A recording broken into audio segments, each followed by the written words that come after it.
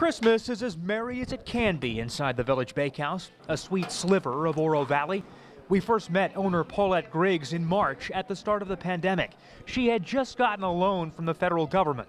Nine months later, coming off her busiest time of the year. Those are the almond crescents. Those are one of my favorites. Paulette says she and her employees need more help. Usually January and February are slow for us, and so that can be difficult to keep everybody employed.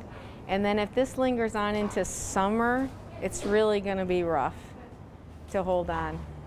President Trump is threatening to veto the $900 billion coronavirus relief bill, demanding Congress boost the $600 individual stimulus checks to $2,000. A Democratic effort to do just that blocked by House Republicans Thursday morning. Also in the bill, unemployment and rental assistance. $600, I mean, that goes so fast. That doesn't even pay somebody's rent for one month here in Tucson, let alone in states where the rent is $2,000. I mean, what does $600 do for somebody? I just, I just think it needs to be more.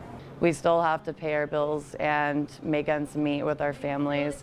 The stimulus check will help boost us in the right direction. Paulette opened the bakery in 1996.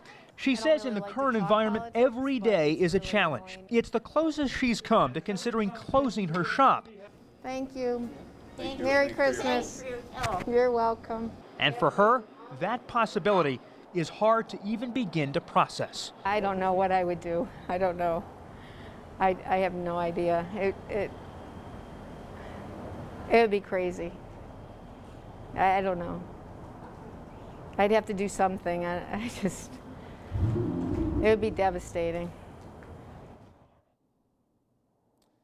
Now, also included in the stimulus bill the money needed to keep the federal government open and running past Monday. We've got you covered live tonight in Oro Valley. I'm Eric Fink, News 4, Tucson.